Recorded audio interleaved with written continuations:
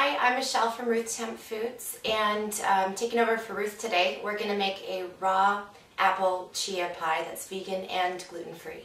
So to get us started, we're going to make the crust. Um, you need a cup of sunflower seeds soaked overnight on your counter. You need 15 dates soaked overnight, again on your counter, and about half a cup of either raisins or currants, whatever you have in your cupboards. Okay, so let's get started.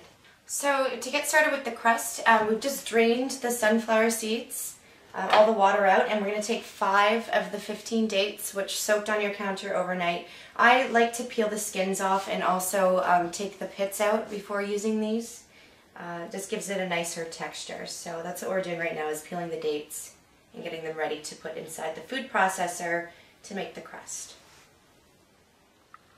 We're going to starting with the crust. Going to put all the, the sunflower seeds and the dates that you just peeled and pitted and about a half a cup of raisins into the food processor. And that will be our crust.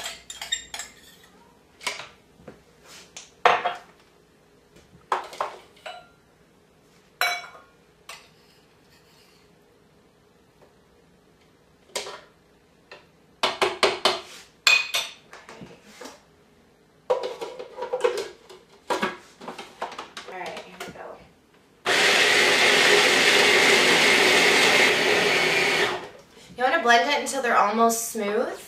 Um, sometimes adding a little bit of water to this can really help make everything kind of stick together a little bit easier.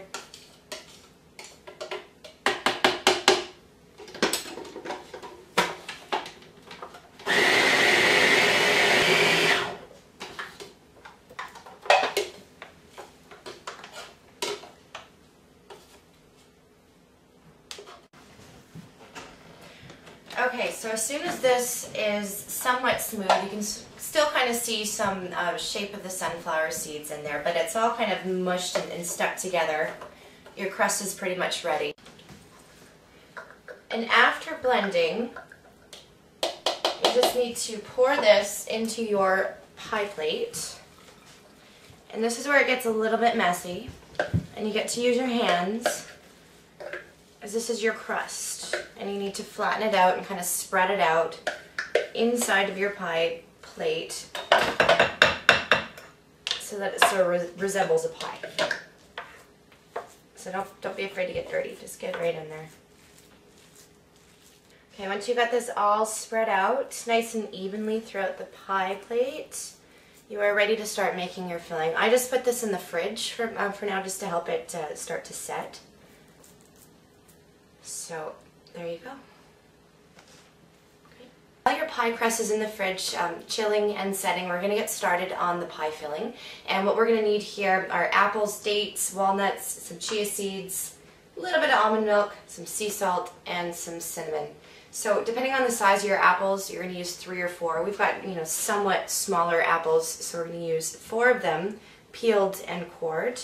Um, the rest of your dates, which you had soaking overnight, there should be about 10 um, that are pitted and peeled. The skin's off about a quarter cup of walnuts. Uh, we're going to use three tablespoons of chia seeds. These chia seeds are awesome because they soak up moisture. They kind of bind everything together and they're virtually tasteless. So when you add these into a recipe such as a raw apple pie, you're not actually taking away from your taste, but you're adding a whole lot of nutrients. These guys are loaded in omega-3s. They've got more omega-3s, in fact, than salmon or flax oil. They've got more calcium than milk. They're also loaded in fiber. just uh, packed full of nutrients. And that's what we're going to add to this pie is a bunch of nutrients by way of chia seeds. So what I'm doing is I'm just soaking them first. Um, you want to use probably about twice as much water as you do chia seeds and let them soak for about five minutes until they get this kind of gel-like substance. Probably use a little bit more water in there.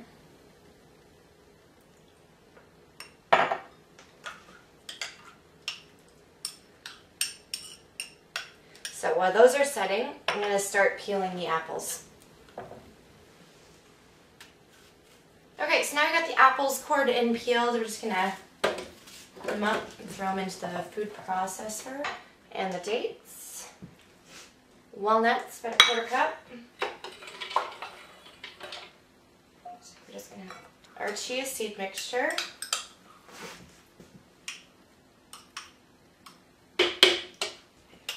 Um, I didn't measure out a quarter teaspoon or, or whatever it was of sea salt, so I'm just going to kind of eye it.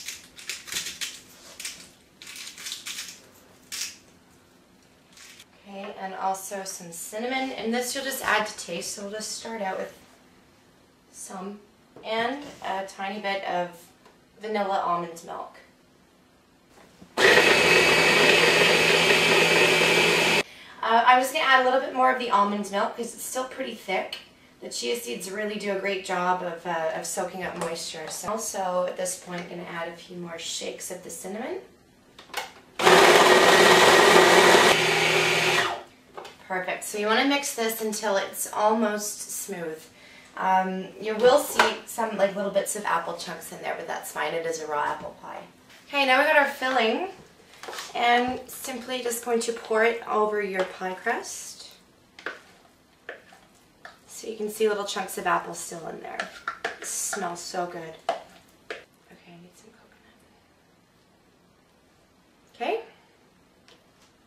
Okay, our pie is almost finished. Um, now you can get creative with your garnishes, but uh, what I like to do is a little bit of shredded coconut and some sort of berry, if it's uh, as long as it's in season and fresh. Say we've got blackberries.